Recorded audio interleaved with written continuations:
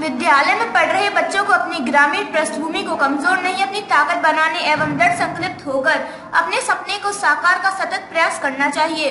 उक्त बातें विधायक राजमणि ने ग्रामोदय विद्यापीठ लेडियारी के ग्रामीण आजीवक मिशन के तत्वाधान में आयोजित अभिनंदन समारोह में कही। उन्होंने कहा कि आईआईटी उत्तर प्रदेश एवं आजीविका मिशन भारत सरकार के ऊर्जा मंत्रालय के तहत जो छात्रों को लैंप वितरण किए जा रहे हैं, वास्तव में एक सराहनीय कदम है विद्यालय के बच्चों द्वारा मम स्पर्शी सांस्कृतिक प्रस्तुतियों की बुरी बुरी प्रशंसा की विद्यालय की स्वच्छता शौचालय, वह पठन पठन की व्यवस्था को देखकर विद्यालय परिवार को बधाई दी। उन्होंने बच्चों को स्वच्छ पेयजल के लिए अपने निधि से एक आरो प्लांट लगवाने की घोषणा की।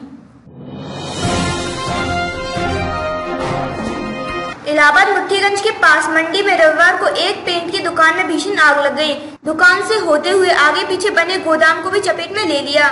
जब तक लोगों को पता चलता है कि दुकान और गोदाम आग की चपेट में आ चुके हैं, सूचना पर पुलिस के साथ फायर ब्रिगेड एनएचआई मौके पर पहुँची। चार घंटे की कड़ी मशक्कत के बाद आग पर काबू पाया जा सका। माना जाता है कि लाखों रुपए का सामान आज भी पीट चढ़ गया है। नवीन जायसवाल परिवार सहित मुठ्ठीगंज के बाँस मंडी के तिलक रोड पर रहते हैं। कुछ दूरी पर ही एक मंजिला दुकान के नीचे तल पर उनके नवीन पिंटू भाई की प्रवीण सीमेंट नाम की दुकान है। दुकान के पीछे ही उनके गोदाम बना रखा है, जिसमें भारी मात्रा में पेंट थिनर और हार्डवेयर के सामान रखा था। इलाहाबाद विश्वविद्यालय से एमएड कर रही छात्रा का शव सोमवार को संदिग्ध हालत में। उसके असिस्टेंट प्रोफेसर दोस्तों के कमरे में फांसी पर लटका मिला।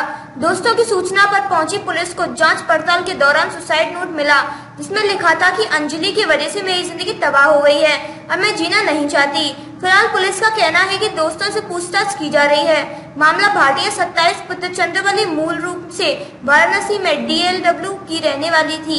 वह इलाहाबाद विश्वविद्यालय के शताब्दी गर्ल्स हॉस्टल में रहकर एमएड की पढ़ाई कर रही थी और वर्तमान में द्वितीय सेमेस्टर की छात्रा थी। उसका शव कर्नलगंज के मोतीलाल नेहरू रोड पर रहने वाले दोस्त संजय कुमार के घर से फांसी पर लटका मिला।